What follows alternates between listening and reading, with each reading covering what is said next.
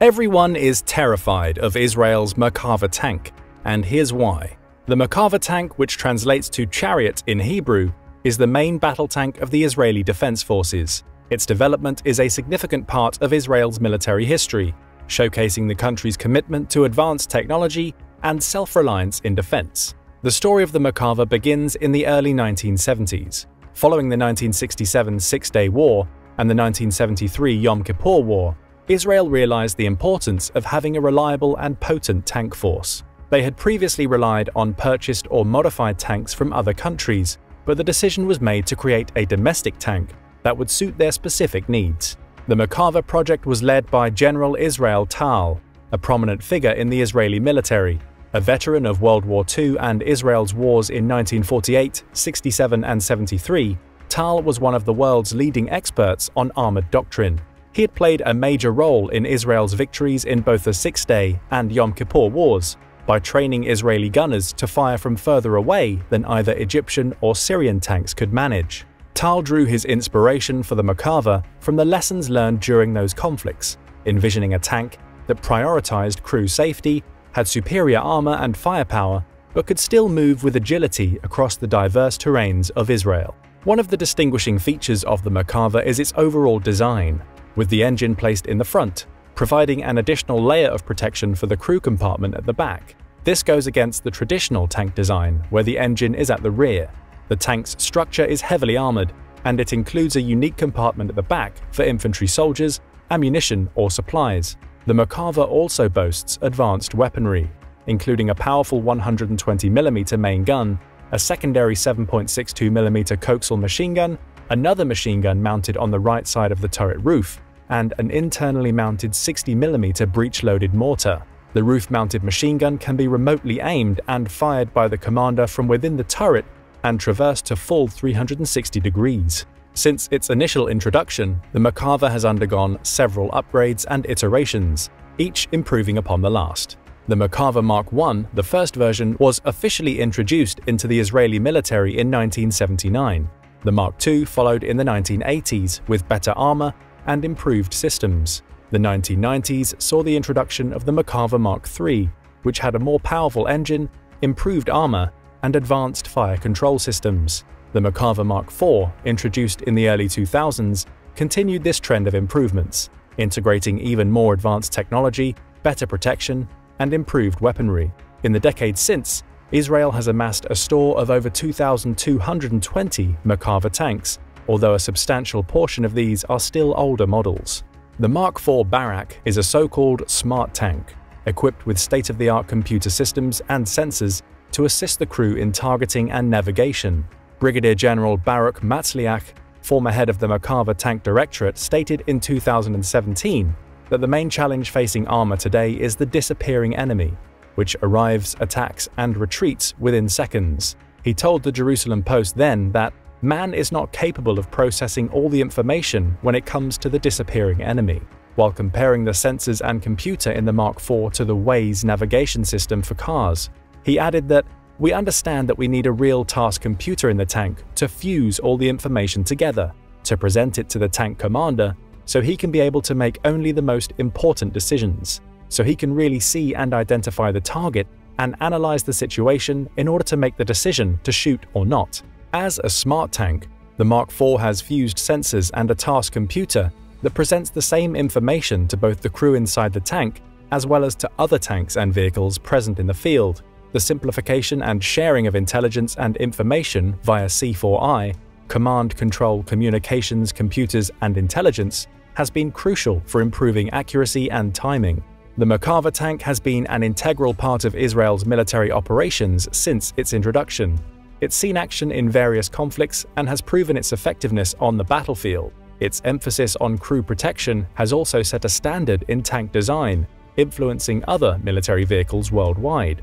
The tank has evolved over decades, integrating advanced technology and innovative design features to meet the challenges of modern urban and desert warfare. The Merkava's fire control system is known for its accuracy and advanced capabilities. It incorporates a range of sensors, laser rangefinders, and computer systems to calculate the optimal firing solution, ensuring high precision even while on the move. The tank's gunner and commander have advanced sights and thermal imaging, allowing for effective target acquisition and engagement under diverse conditions, including nighttime operations. The fire control system is also integrated with the tank's navigation system, providing real-time data and aiding in accuracy. The Merkava's mobility is a key aspect of its performance, designed to navigate the diverse terrains of Israel from deserts to hilly regions. It is powered by a robust V12 diesel engine, providing a good power-to-weight ratio and ensuring rapid acceleration and high top speeds. The tank's advanced suspension system aids in maneuverability, and its wide tracks provide excellent traction, even in challenging conditions. The Merkava's armor is another contributor to the tank's success, ensuring maximum protection for its crew. It features modular composite armor, allowing for quick replacement and adaptation to different threat levels. The tank's front has especially thick armor, and the engine's placement at the front adds an additional layer of protection. In addition to its physical armor, the Merkava is equipped with the Trophy Active Protection System, the only fully operational and combat-proven APS against anti-tank guided missiles in the world. The Trophy APS was developed by Israel's Rafael Advanced Defense Systems and Israel Aircraft Industries Elta Group.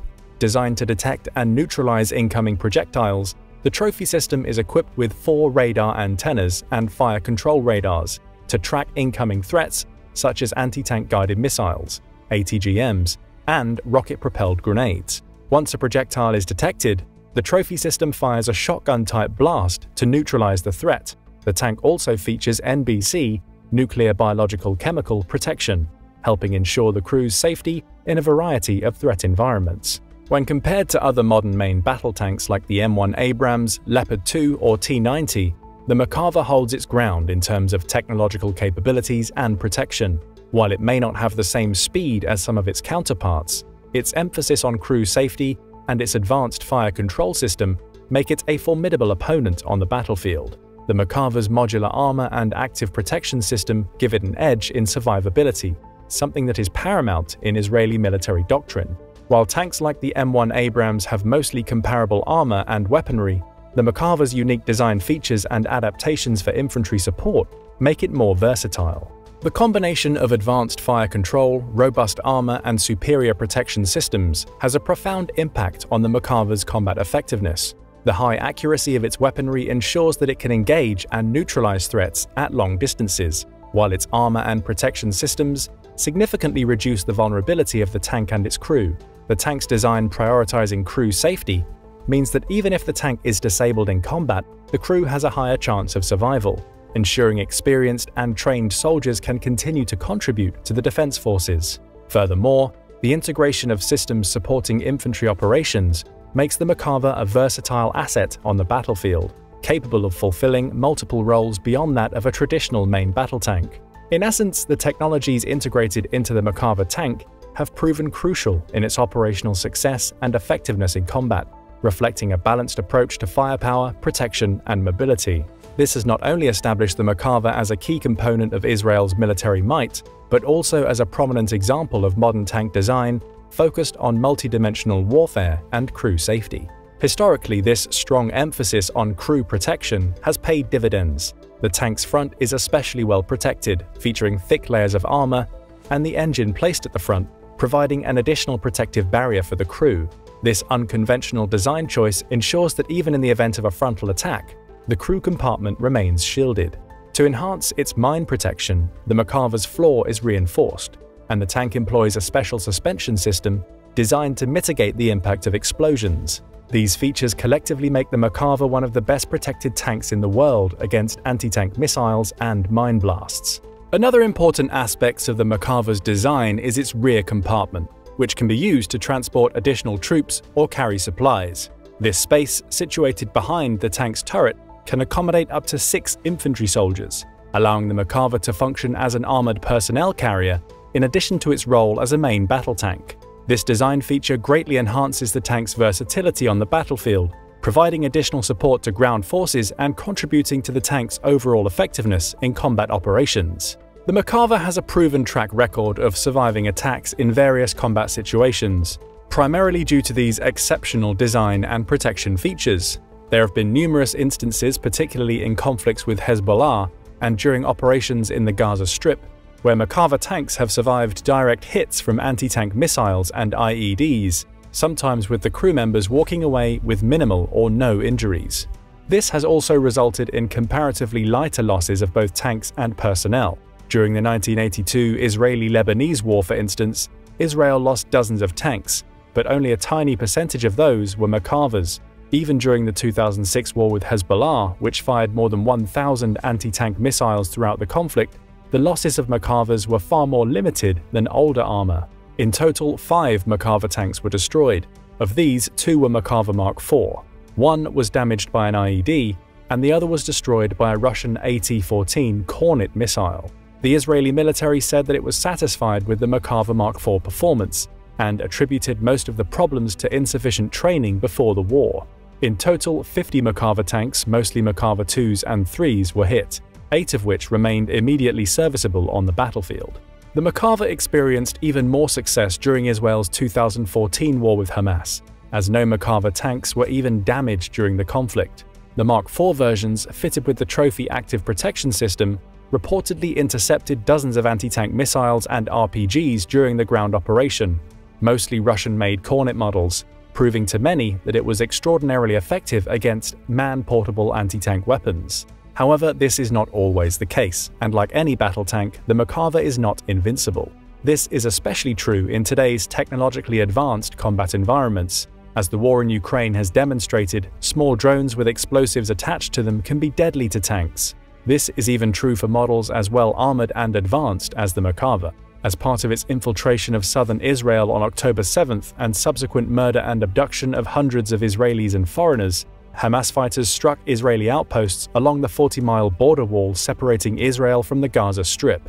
Merkava tanks have patrolled the border for decades, meant to stop just such an incursion. But this time, some of them came under attack by Hamas's grenade-dropping drones. Hamas videos depict multiple successful strikes on Merkava Mark IVs. In at least two cases, the tanks also burned, showing just how deadly explosive drones can be to armor unprepared for a precision strike from above. At first glance, many speculated that the drone's grenades, which weigh only a couple of pounds, penetrated the thin top armor on the Merkava's turrets. In general, that's how Ukrainian and Russian drones have been destroying each other's tanks in such large numbers. But later experts analyzed the videos of Hamas drone strikes on Merkavas. In both, it seems the drone's grenades struck either the engine compartment in the front of the tank's hull or the ammunition stowage in the bustle hanging from the back of the turret. Such strikes show the limitations of increasing tank durability.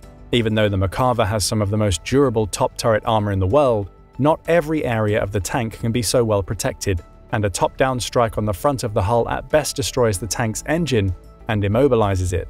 A strike on the back of the turret, on the bustle, tends to ignite the ammo stored there.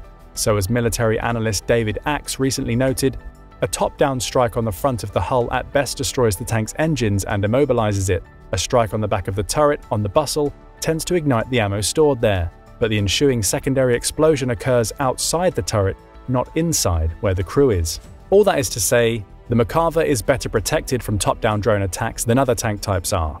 It's not invulnerable, of course, but a drone strike on a Merkava is far more likely to immobilize the tank and spare the crew than it is to take out both the tank and the crew. Yet Israel is also clearly concerned about the possibility of a direct strike on the tank hatch. In the days since Hamas's attack, videos have emerged of Merkavas being modified with so-called cope cages, hardened protective screens, which the Russians began to adopt in 2022 to try and stop Ukrainian ATGM strikes. This again points to the role of the war in Ukraine, which has heavily influenced modern combat doctrine and technology, in what several experts have called a modern war laboratory. Numerous militaries around the world have watched and attempted to learn from different aspects of the conflict, including how to avoid the fate of Russia, which has lost upwards of 5,000 tanks. For the IDF, losing multiple Merkavas in a matter of days seems to have acted as a wake-up call. Mark Cancian, a senior advisor with the Center for Strategic and International Studies, told the Washington Post that my assumption is that the Hamas attacks gave Israel the impetus to install the cages more widely. It's probably something that they had been thinking about before since everyone is watching the war in Ukraine so closely. One major question is how effective cope cages will actually be against Hamas drone operators. Samuel Bendett, a drone expert at the Center for Naval Analyses, has pointed out that the effectiveness of extra shielding like this on a tank varies wildly, depending on the type of drone being used. They are generally more effective against quadcopters that drop small munitions, like the drones Hamas used in the attacks against Israeli forces. They are less useful against cheaply made racing drones that are more maneuverable. Such weapons have been used more and more recently to target Russia's Wagner mercenaries in Sudan. A talented pilot, Bendett said, can get around the gaps in the cages and armor, but it's still unclear whether Hamas has acquired such technology, known as first person view or FPV drones. If it has, whether through Iran or other channels, it's likely to pose a significant challenge to Israel's armored divisions, especially in a dense urban environment like Gaza. Similarly, the protective screens would be of limited use against weapons like rocket-propelled grenades, if fired down on Israeli vehicles from high buildings within Gaza. Sonny Butterworth, a senior analyst at the defense intelligence firm Janes, noted that shields act as a buffer intended to prematurely detonate an explosive disable warheads used on some rocket-propelled grenades or, in the case of drone-drop grenades, cause the weapon to simply roll off the vehicle before it strikes weaker armor or fall into an open hatch. None of this solves the problem of fast-moving pinpoint drone strikes, as any attack with sufficient accuracy will still be able to hit the least armored area of a tank. Even the much-lauded trophy system will fare, as it's likely that the tanks Hamas destroyed in its surprise attack did not have the protection system active. In sum, it's always worth remembering that due to the changing nature of modern warfare, even the best defenses in the world are not a guarantee. But while the Merkava Mark IV still has weaknesses against skilled or technologically adept anti-tank fire, so does every other modern armored vehicle. And there is little doubt that pound for pound, the Merkava remains among the most powerful and sophisticated tanks in the world, with a terrifying reputation among nations. Yet only time will tell if its array of advanced features and firepower will stand up to the challenges of asymmetric warfare in the 21st century. What do you think? Just how powerful and relevant is the Merkava on today's battlefield? Let us know your thoughts in the comments, and don't forget to subscribe for more military content and analysis.